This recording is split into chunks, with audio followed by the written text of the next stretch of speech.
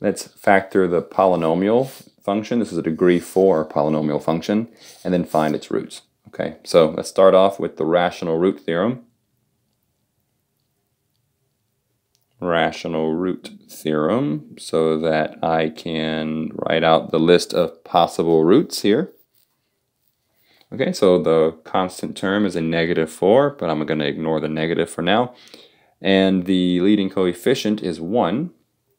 Numbers that divide evenly into 4 are 1, 2, and 4. Numbers that divide evenly into 1 are just 1. So that's going to give me positive and negative 1, positive and negative 2, positive and negative 4. Okay, so there are six options here.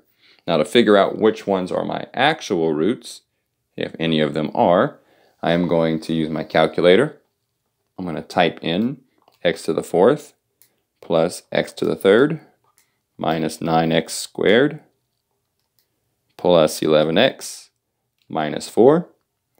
I'm going to start my table at negative 4 and have it count by ones. And I find roots negative 4, 1, and that's it. Okay, so I have two rational roots that I have found so far, at least two distinct ones. But remember, I should expect to find four, so there's probably some multiplicities going on here, or even worse, some complex roots. Okay, let's see what we have. Okay, so what I can do for now is factor this part of the way.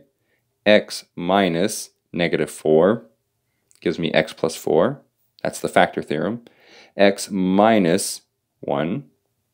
And then there's some more stuff here, right? There's, there's definitely more going on.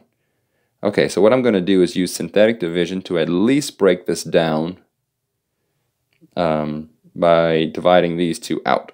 Okay, so let's see. Synthetic division. Start with x to the fourth, x to the third, x squared, x, and a constant. My coefficients are 1, 1, negative 9, 11, negative 4. And negative 4 was the first root that I found. Okay, so let's work this out.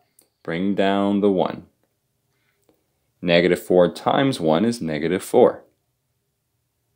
1 minus 4 is negative 3. Negative 4 times negative 3 is a positive 12. Negative 9 plus 12 is a positive 3. Negative 4 times 3 is a negative 12. 12 mi or 11 minus 12 is negative 1. Negative 4 times negative 1 is a positive 4.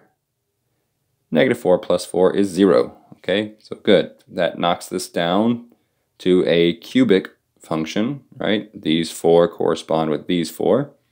But I can knock it down even further by dividing again by 1, right? My next root.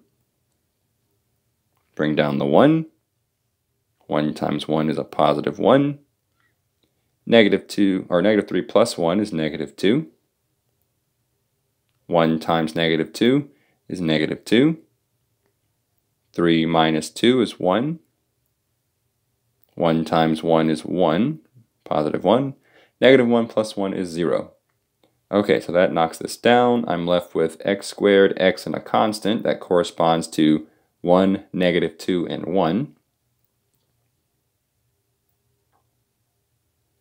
So that means that this blank is 1x squared minus 2x plus 1. Okay then, what can I do from here? Well, I know how to factor quadratic, so maybe that's what I should do, right? Maybe I should factor the quadratic. Okay, so x squared minus 2x plus 1. Okay, well, x squared minus 2x plus 1. Okay, well, since, since this is an understood 1 right here, remember I can just find the numbers right? I need to find the numbers that when I multiply them together, they equal 1, right? Positive 1. But when I add those same numbers together, they equal negative 2. since it's a 1 that I'm trying to multiply to, I don't have a ton of options here. Okay, um, let's see, negative 1 times negative 1. That multiplies together to be a positive 1. They add together to be a negative 2. So check, negative 1 and negative 1 work. So x squared minus 2x plus 1 factors to be x minus 1 times x minus 1. So that means this piece right here is x minus 1 times x minus 1.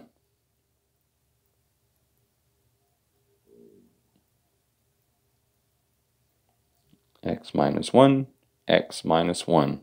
Wow, I have three x minus 1s here. To make this look nicer, we can write this as x plus 4 times x minus 1 cubed. Okay, so that's it factored out. Now what do we do with the roots here?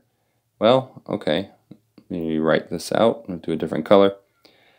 Okay, so we know that we have negative 4, and we have only one negative 4, right, that pops up. So we'd say it has multiplicity 1. And then this x minus 1 would give me 3 positive ones. There's three of them. So we'd say 1 with multiplicity 3. Okay, so there's my roots. I've accounted for four roots here. 1, negative 4, and three ones. And I factored it. So there we go.